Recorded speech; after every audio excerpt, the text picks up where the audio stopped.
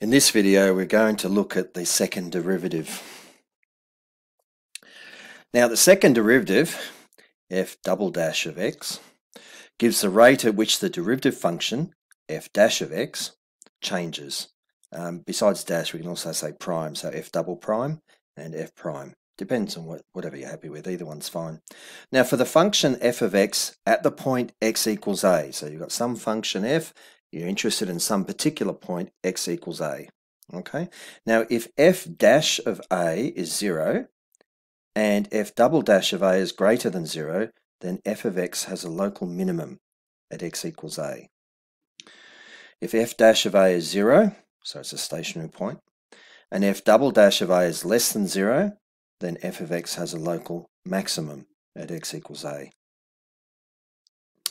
If f double dash of a is equal to 0 and f double dash of a changes sign either side of x equals a, then we have a point of inflection. Okay, so local minimum if f double dash of a is greater than 0, local maximum if f double dash of a is less than 0, and if f double dash of a changes sign either side of x equals a, then we have a point of inflection. Okay.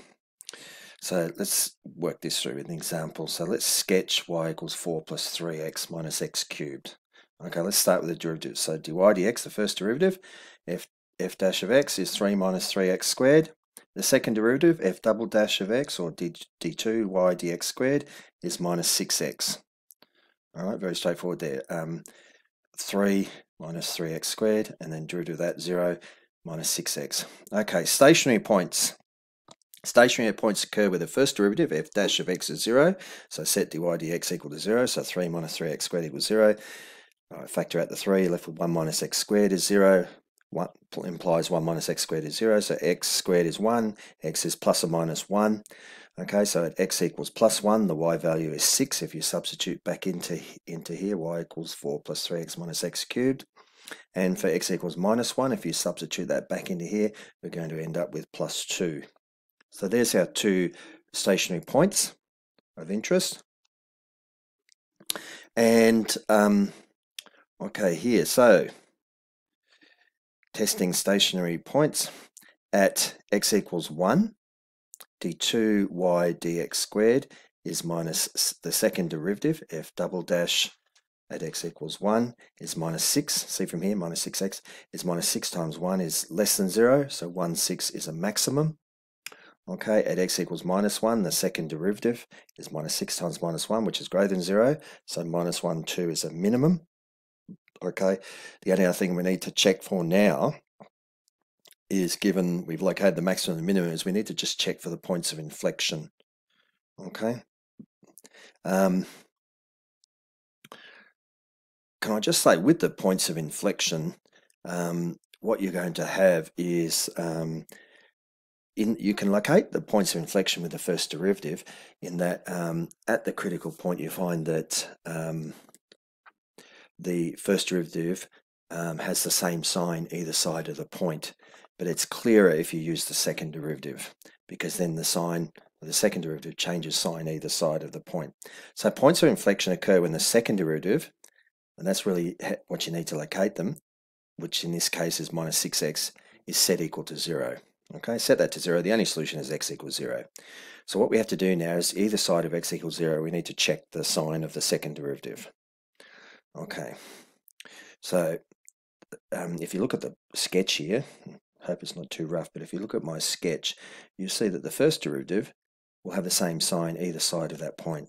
So in a sense, second derivative can be clearer about locating points of inflection because you set the second derivative equal to 0, uh, that tells you where they are, and then you can just verify by seeing the second derivative does change sign either side of it. So for x equals 0, uh, the y value is 4, but what we could do is just pick points either side, close to, but either side. In this case, we can just pick uh, minus 1 and plus 1. That's all right. We know they're either side of the point of inflection. At minus 1, we find that the uh, second derivative is positive because minus 6 times minus 1 is plus 1, so that's positive. Uh, at x equals plus 1, uh, put plus 1 there, we get minus 6 times plus 1, which is negative.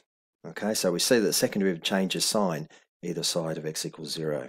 Okay, so it's therefore a point of inflection. Okay, and that point of inflection, the first derivative doesn't change sign. As you can see here, it's growing, growing. It's going to be positive on both sides because you can see the line slopes to the right and is increasing. So it's going to be positive gradient either side of the point of inflection.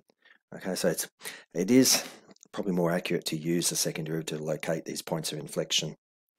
Okay, and there we are. That's the sketch of that, and that's what we've done. But the key thing here is um, uh, if f dash of if the first derivative at the point x equals a is 0 and the second derivative at the same point x equals a is greater than 0 then we have a local minimum at x equals a.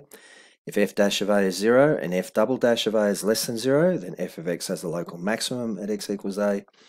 If f double dash of a is equal to 0 and then f double dash of a changes sign either side of x equals a then we have a point of inflection. All right that's it